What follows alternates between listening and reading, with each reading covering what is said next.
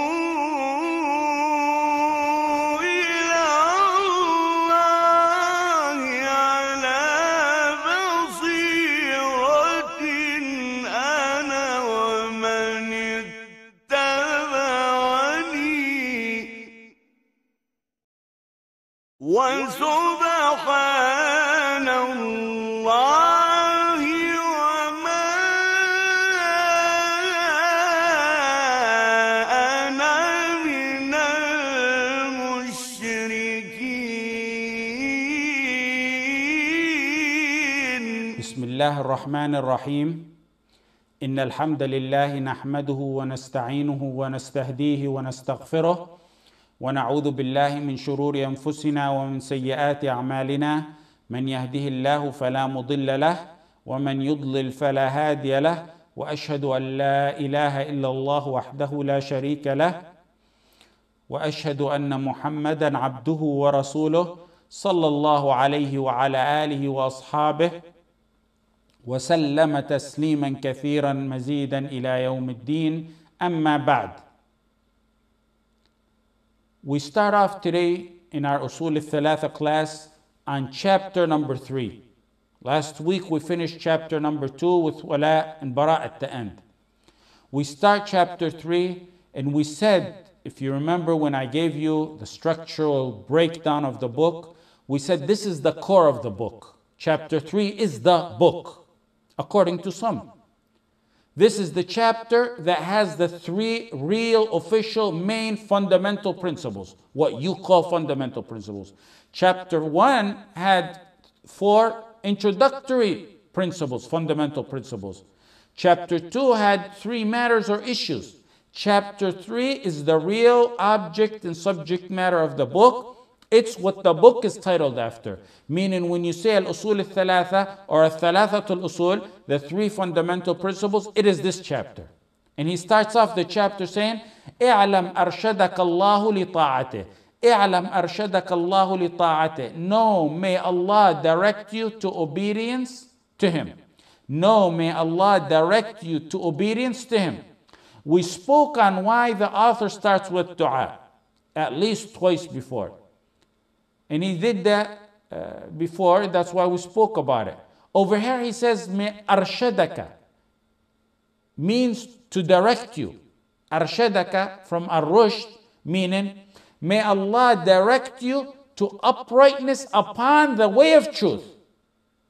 Ar-Rashad is the path of guidance, like the verse says, وقال الذي آمن يا قوم اتبعوني أهدكم سبيل الرشاد the man who believed said, Oh, my people, follow me. Believer said, Follow me.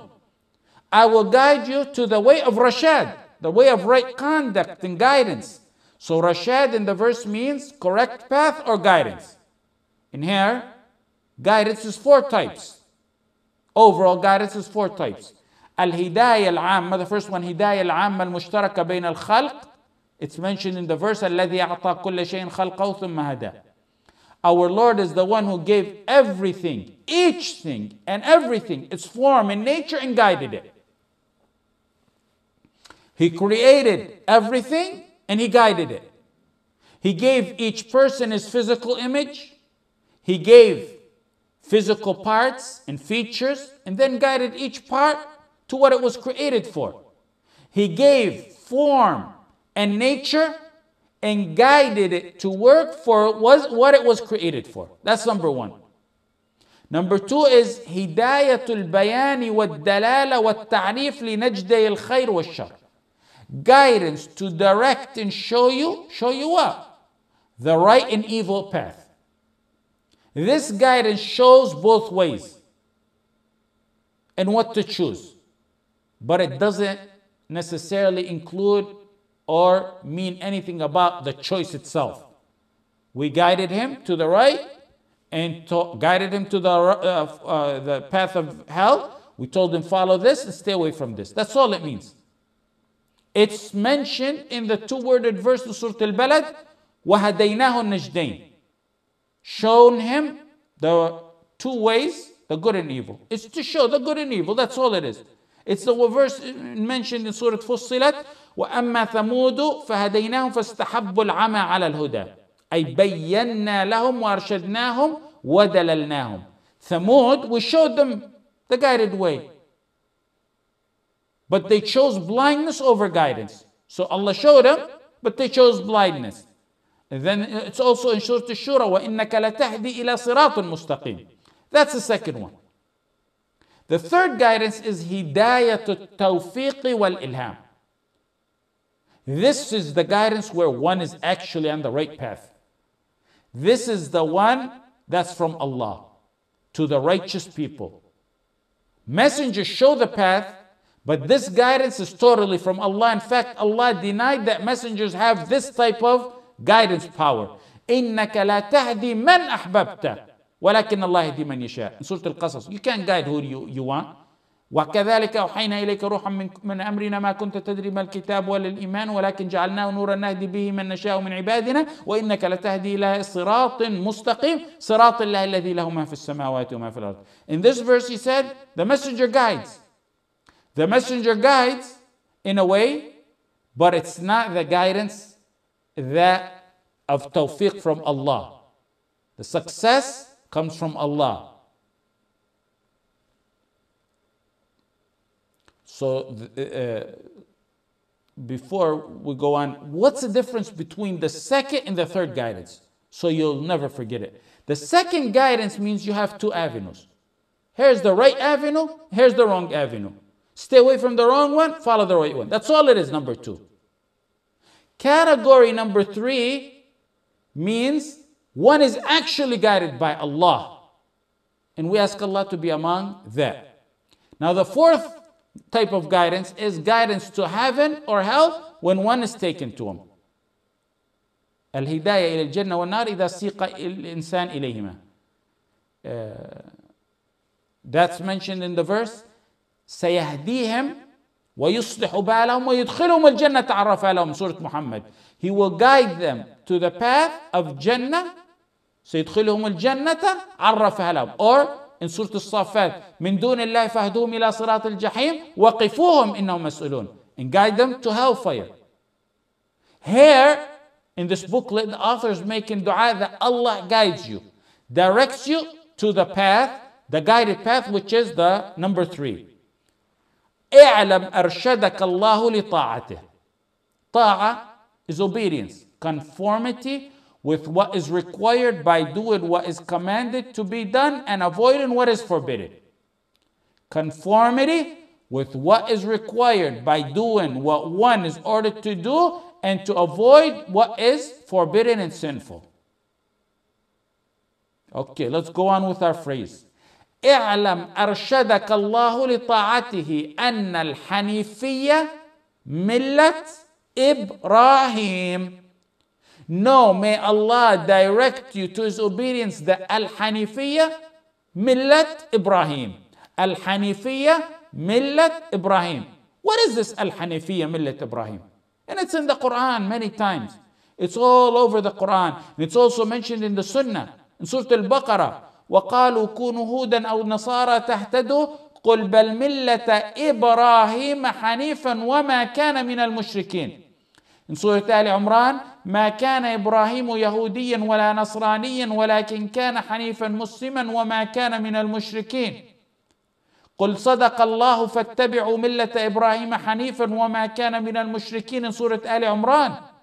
ومن أحسن دينا ممن أسلم وجهه لله وهو محسن واتبع ملة إبراهيم حنيفا واتخذ الله إبراهيم خليلا سورة النساء. فلما رأى الشمس بازغة قال هذا ربي هذا أكبر. فلما أفلت قال يا قوم إني بريء مما تشركون إني وجهت وجهي للذي فطر السماوات والأرض حنيفا. سوره الأنعام. قل إنني هداني ربي إلى صراط مستقيم دينا قيما ملة إبراهيم حنيفا وما كان من المشركين. إن سورة الأنعام. إن إبراهيم كان أمة قانتا لله حنيفا ولم يكن من المشركين. in سورة النحل. What's this millat Ibrahim Hanifa mentioned? This is just, just some verses, there's more. Before we go deeper, simply put the definition. Here's the definition Al Hanifiyya is the religion that is free from shirk and founded upon purity and sincerity of intention for Allah. It's the true and straight, pure religion. It is Islam. Now let's go to the root word and see uh, the connection in the meaning. In the real Arabic, the original Arabic, the old Arabs would say رجل حنفاء with a kasra on the ra. ورجل أحنف a fatha on the ra. The first one means رجل حنفاء means a leg that's حنفاء. Leg that's حنفاء. Second one means a man who is أحنف. A woman, a female poet called أم الأحنف used to say والله لولا حنف برجله ما كان في فتياك فتيانكم من مثله. A female poet used to say about someone uh, using this root word had he not had hanaf in his legs there would not be in your youth anyone compared to him. He has a deficiency, otherwise, he'd be the best one. We're using her line of poetry for linguistic purposes. Why would they describe legs or a man as being ahnaf or hanaf? Why would they use that? Because linguistically, when Arabs used to use it, ahnaf, for the legs or talk about a man, they meant that person has pigeon toes or what's called in-toeing. When the toes are pointed toward each other, most people's toes are normal people are straightforward. Some toes point towards each other. We commonly refer to that today as pigeon toes or more medically appropriately called in-toeing. It's when the front portion of the feet at the rest turns inward. Turns inward. Look at that. Turns inward. Okay, now you're saying in your mind, you gave us the definition of the shari meaning, uh, that it's purity and sincerity and away from shirk and all that. And then you went uh, a million miles away explaining the linguistic rule meaning of Hanifa. What's the term itself? It means linguistically. Uh, what's the purpose? The purpose I did that is to draw a connection between the linguistic meaning and the Shari'i meaning that we took. Because, like Islam, literally it means, linguistically, it's submission. That's it. With Shari'i meaning is submission to Allah with Tawheed, following in obedience and refraining from shirk. Just like in Tajweed. For example, the noon sakinah rules.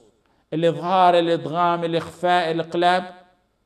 There's always a connection between the literal linguistic meaning and the Shari'i meaning. There's always a connection. Now, what's the connection between the linguistic meaning of Hanifa and the Shari'i Islamic meaning that we mentioned? The connection is that Hanifa literally means to lean, to turn, to incline. And the connection is it's to incline and turn totally to Tawheed, lean towards Tawheed, and lean away from shirk. Some defined Hanafiya, some scholars as turning to Allah and turning away from other than Allah because it means turn to. Turning to Tawheed and turning away from shirk. That's the connection. القرطبي said حنيفة مائلا عن الأديان المكروهة إلى الحق دين إبراهيم. Hanifa is turning away from disliked faith to the true religion of Ibrahim.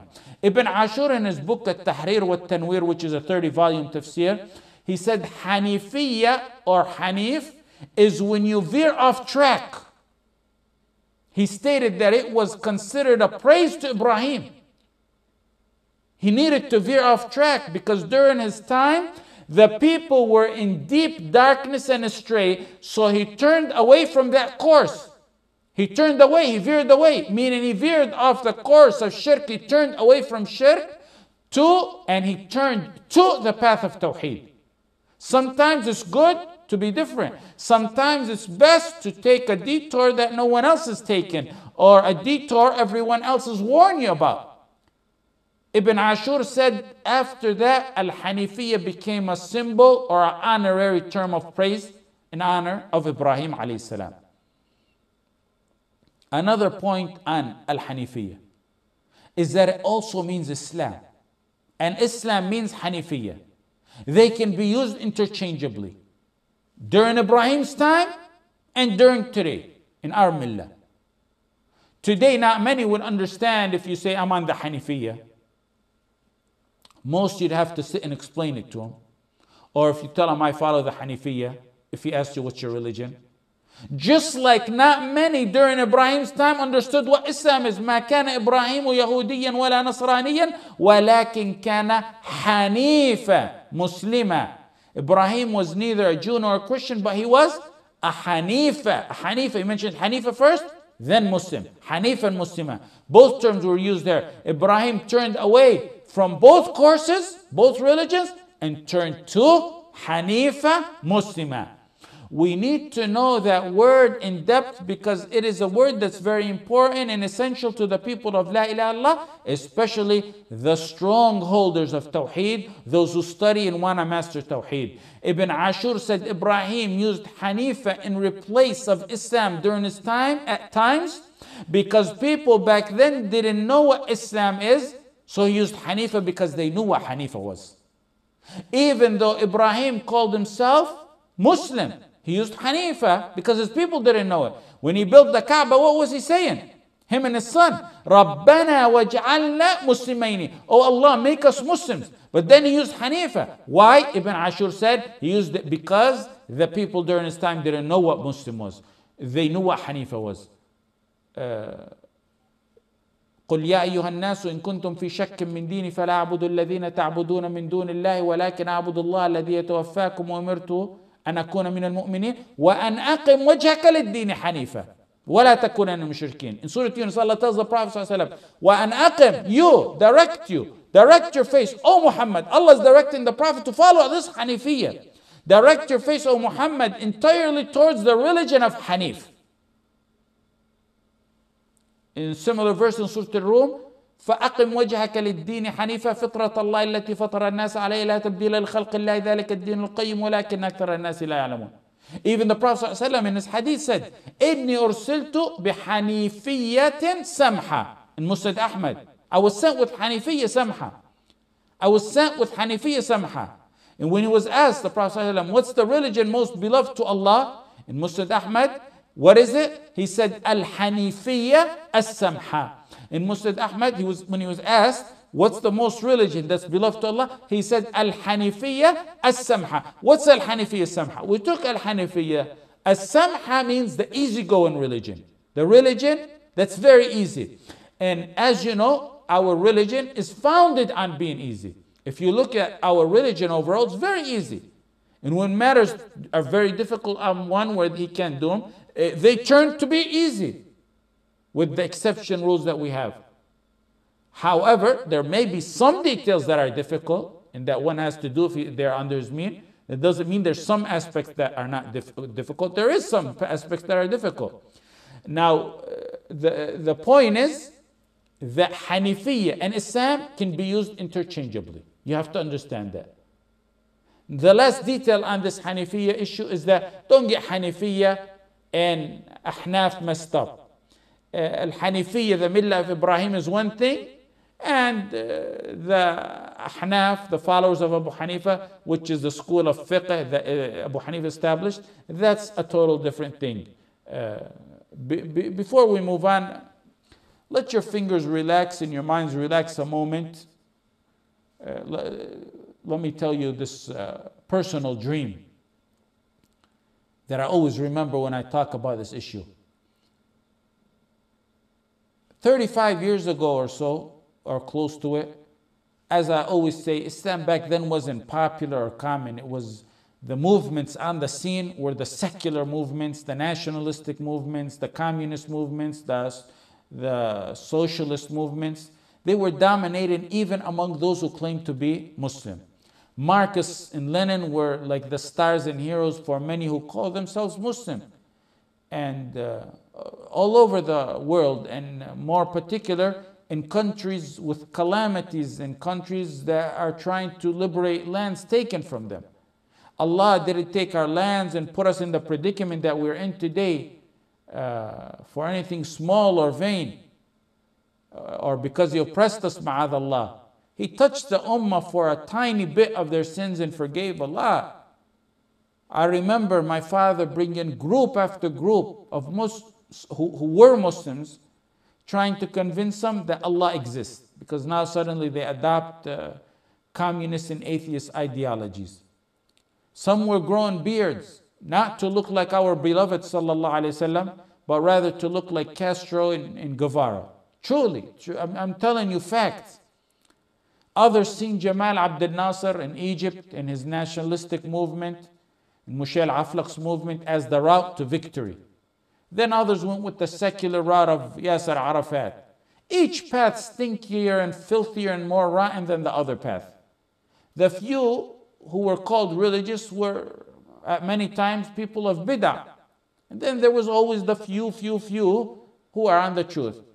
Many of you know, don't know this historic background because you were either young or not born back then. Actually, I myself was young, a child. Um, so basically, Islam wasn't as popular, as common as you see today, or anywhere close to that. It was during those times that my father wanted to continue studies in Medina to face the challenges and doubts and uh, better his knowledge, even though at that time he was very knowledgeable and he had already learned with many mashayikh. From the will of Allah and his biggest blessing on our family is, and it's rare to see, uh, is that I told you people molt in their belief. Uh, they change and they molt in their belief and they change with how the news change and how the circumstance and the government change. But the manhaj I'm on today, Wallah al-Azim, is the manhaj my father taught me when I was a little kid. Not a tiny bit change. And I say Alhamdulillah, thumma Alhamdulillah, that one had istiqamah from young days and didn't molt and change. Uh, having lived through, let me say also, haven't lived through this pre Islamic awakening stage, and you see what the drastic ongoing changes going on in the, the, in the world, uh, I really make dua and very much anticipate that within this decade, the Ummah will wake up to a sudden day of victory a day that will please every believer and seeker of peace and displease every tyrant and oppressor and enemy of Allah. The day that we all long for when we hear of the Khilafah established on this earth. Uh, I believe, inshaAllah ta'ala, will be in this uh, decade. So, my father in the 70s had the ambition to study in this university no one knew about and he wanted me and my two sisters to go along uh, and memorize the Quran. And of course, my mother, may Allah protect my sisters, and also my mother, may Allah raise her rank to Firdaus. Uh, at that time, many ulama had come and visited us in the States. And they seen my father's da'wah activity, which uh, impressed them. And they encouraged my father to cut his da'wah activity or pause it, go to Medina, and come back, which only added more inspiration to what he wanted. And among those who visited was the Sheikh Al Harakan, rahimahullah, who's the Muslim, the head of the Muslim World League back then. And Abdullah bin Qa'ud, who was among the high ulama, rahmatullah alayhi, also died. There's also Sheikh uh, Sa'd al Husayyan. He was uh, in charge of the Islamic affairs in Jordan for uh. Uh, then uh, his, he involved his two brothers, Ibrahim al Husayyan, who was Ibn Baz's right hand man and trustee for decades. And then uh, they had a third brother, which is Salih al Husayyan, who you may have heard of, just died recently, months ago. He was the head of the committee for the Haram in Medina and Haram in Mecca. And many others who all pushed and helped my father to fulfill his dream to go to Medina uh, and many helped him get accepted. Uh, all those who I mentioned are dead with the exception of Sheikh Saad. May Allah have mercy on those who died of them. Uh, another, let me tell you another side issue. Sheikh Sa'd al Husayyan, who's the head of the two haram, who, who just died uh, recently, he's probably one of the most humble men you'll ever meet in your life, and possibly one of the richest at the same time. When I used to sit in the haram and memorize the Quran every day from Asr to Isha, and my father be in a halaqah with other mashayikh learning, he would take me and say, Come on, let's go have lunch, you come back. Your father's not going to get mad. And really, my father, that was the only person my father would trust me to go with. And I would go with him. And one thing I learned about this man is he was teaching me how dutiful he was to his mom. He told me if his mom is on a higher level, he won't go above that level and sleep. He'd stay on a first level. If she's on the second level, he'll stay on the first or second level and sleep. He won't go on a higher level and disrespect her. He took it as a form of disrespect. Even though he was in a high position and very wealthy, and it shows you how some take their mother and be dutiful to him. So take advantage if your mom or your parent is uh, uh, alive and be dutiful to them. So my father had obstacles in going, and these people helped him. Among the obstacles uh, was, uh, for example, that he couldn't take the family. Back then it was impossible uh, to take a family.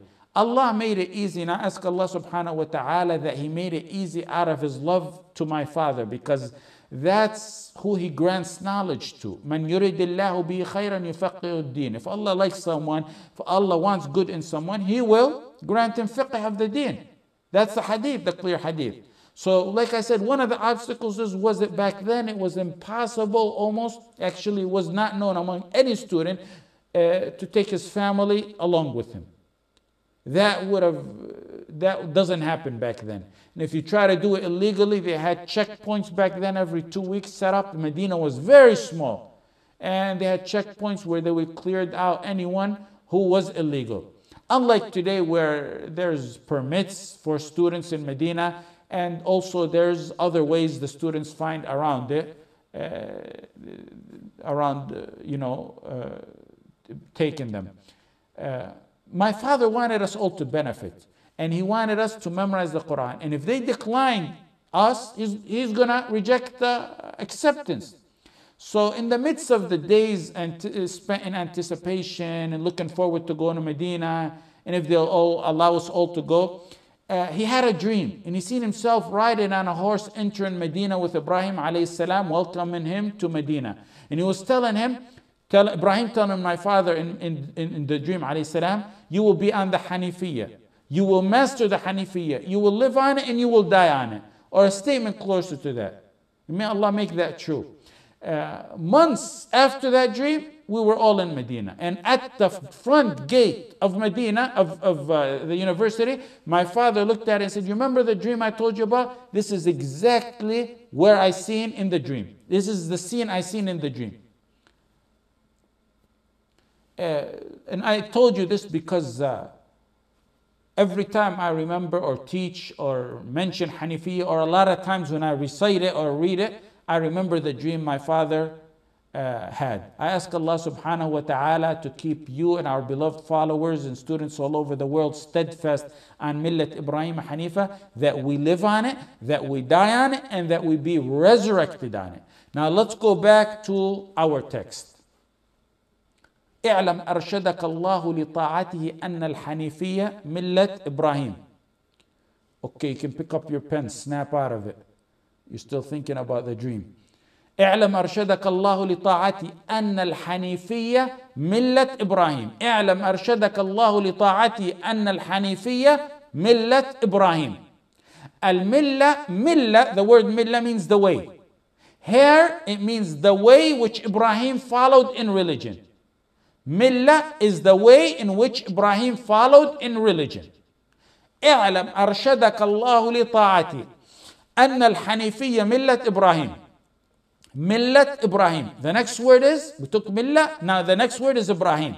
We know Ibrahim alayhi salam, the man Allah said about, وَاتَّخَذَ اللَّهُ إِبْرَاهِيمَ خَلِيلًا ومن أحسن دينا ممن أسلم وجهه لله وهو محسن Who's better in religion than one who submits his face to Allah while he's a muhsin واتبع ملة إبراهيم حنيفا and follows the religion of Ibrahim Hanifa. واتخذ الله إبراهيم خليلا and Allah took Ibrahim as his intimate friend. And Allah took him as his friend. And Allah chose him as his friend. He is the Khalil. واتخذ الله إبراهيم خليلا. The Khalil of the most merciful is Ibrahim. He's the father of the prophets. And his way is mentioned repeatedly so that it will be adhered to, it will be followed. قد كانت لكم أسوة حسنة. You remember the verse that we took yesterday, last week. Uh, قد كانت لكم أسوة حسنة. Here, Ibrahim is a qudwa. He is an example for the Prophet sallallahu alaihi wasallam. He is a qudwa and he's an example for this ummah. He is the one man nation. Inna Ibrahim kana ummah.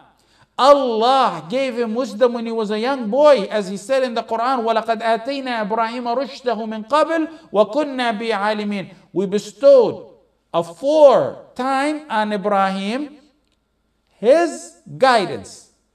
And we were well acquainted with him and his belief to the oneness of Allah.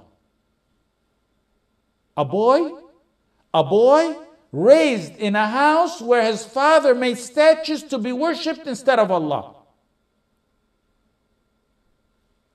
He was worshipped or raised, or raised, he was raised in an environment where statues were worshipped all around him. That was his environment. That's how he grew up.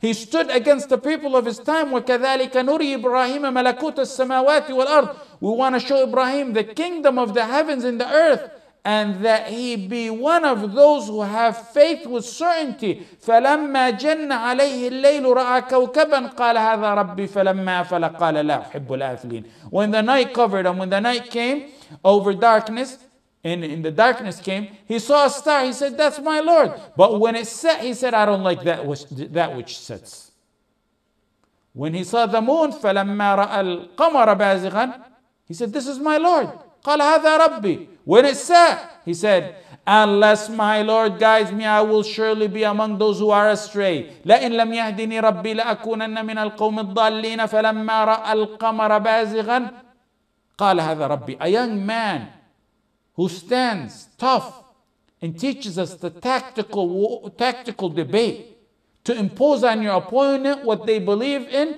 in a way that shows them how ridiculous and pathetic that belief is impose the idea on them to show them how pathetic and ridiculous it is. When he seen the moon, uh, when he seen the sun, he said, This is my Lord. When it said, he said, Inni bari ummatushikun, I disown that which you worship. I have Inni wajjahtu wajhi lilladhi fatara as-samawati wal ard. I turn my face to the one who created the heavens and the earth, Hanif and Muslima. I turn my face to Allah and only Allah. Turn my face. That's Hanifa. I turn my face. Ibrahim is the ideal da'iyah.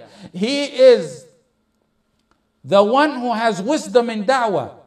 He, has, he was the one who has manners in da'wah.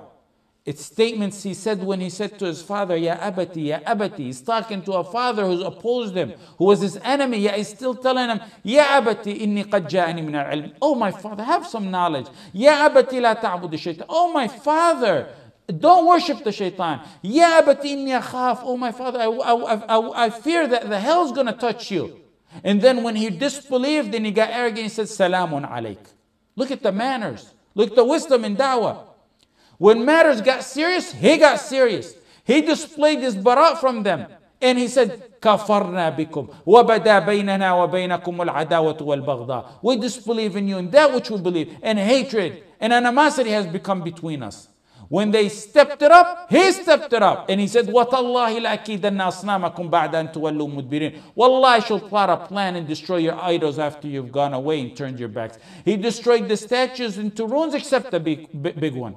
فجعلهم جذاذا إلا كبيرا لهم لعلهم إليه يرجعون قالوا من فعل هذا Who has done this to our gods? Even though their lords were dust and dirt, they still called their lords lords. When the fitra goes from Hanifiya to its opposite, it no longer has sense. They're calling dust their lord. قالوا سمعنا فتى we heard a young boy in court he was the one man nation they took him to court he was a one man nation that spoke like a real man even though he was a young young teenager he didn't coward and dilute his teaching or back away He said, Uffin lakum, fire upon you, and that which you worship besides Allah. Have you no sense? قالوا حرقوا. They said, burn him. What did he say? They said, burn him. He said, Hasbunallah اللَّهِ وَنِعْمَ الْوَكِيلُ." Allah said, Kuni بردًا وسلامًا على ala Ibrahim. Be cool and safe on Ibrahim. This is our Ibrahim عليه salam. Khalil, the one Allah took Khalil the one man nation, the one Allah says he's a one man nation, the one Allah says he's a Khalil, the one we're ordered to follow in, in his footsteps, the one our Prophet was ordered to follow in his footsteps, the universal reviver of Tawheed on this earth. Ibrahim kana ummah.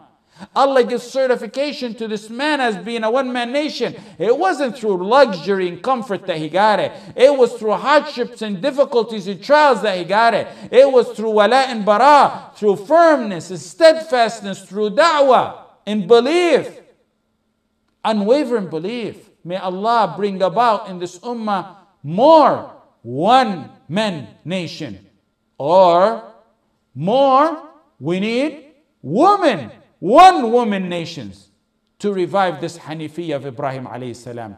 Now you know what the author meant in his statement, Al Hanifiyya Millat Ibrahim. When you read it in different forms throughout the Quran or in the Sunnah or when you see it anywhere, now you need, know what Al Hanifiyya Millat Ibrahim is. Uh, okay, it's Salah time. We'll take uh, time for Salah, then we'll come back. We have, uh, we'll take about uh, half an hour to 45 minutes of questions when we return. Uh, those of you who leave uh, before the questions, make sure you check your emails and your your uh, or your text, whatever they send you, to see if there's class next week because I'm not sure if they're going to be class. So uh, make sure to check that. جزاكم الله خير وصلى الله على سيدنا محمد وعلى آله وصحبه وسلم.